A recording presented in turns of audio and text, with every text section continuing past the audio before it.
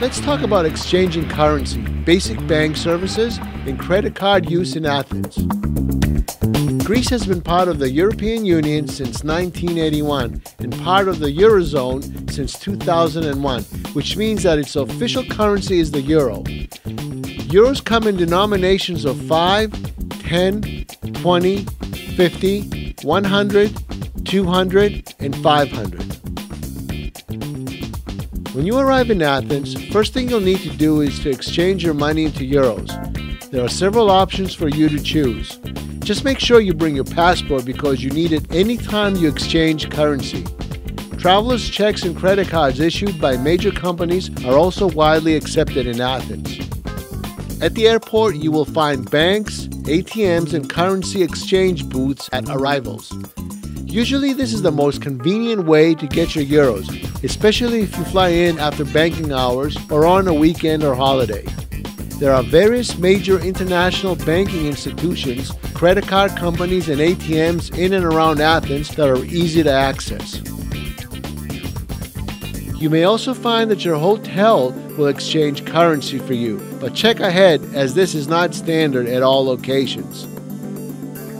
When exchanging currency, ask whether you will pay a straight commission or percentage commission and what exchange rate will be used. Most banks will charge a flat fee and use the exchange rate issued that day by the Central Bank of Greece. Money exchange bureaus and hotels may use a combination of charges, exchange rates, and fees. Most banks will charge a flat fee for using their ATM if you're not their customer. The amount will be deducted from your account.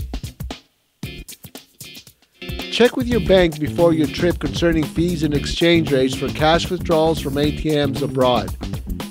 Credit cards are now widely available in Greece and they are accepted in supermarkets, stores, gas stations, and tavernas in most major towns and cities.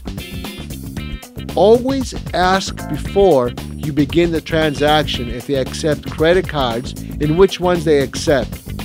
Most special deals for payment plans or discounts using credit cards only apply to cards issued by Greek banks.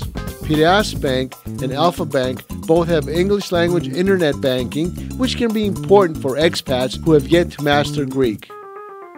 Checks in Greece are not widely used, and unless you run a business, you will not need a checkbook. Checks are not generally accepted in shops and supermarkets. Banks are used by both public and private companies as bill payment centers, so be prepared to potentially spend some time if you're going into a local branch, especially during the beginning of the month, which for many signifies both payday and payments due at the bank. If you need more information about things to do in Athens or how to get around or even what you must see, please search our web TV for more videos. Thanks for watching.